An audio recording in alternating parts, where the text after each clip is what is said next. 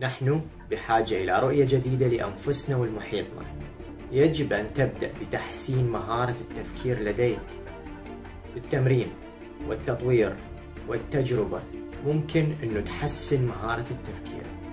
أنه تولي كل انتباهك لدراستك أو مشروعك أو مهنتك. يزيد من قدرتك على التركيز. يوسع من حدودك الداخلية. ويرفع من معنوياتك. ويغير فكرتك عن الحياة فهي بالفعل تستحق أن تعاش بعقلية مغايرة. بالنهاية تتحول هذه الرؤية الجديدة إلى مادة تحل كل مشاكلك العالقة. بتحسين مهارة التفكير ممكن أنه تكون رؤية جديدة بعقلية مغايرة.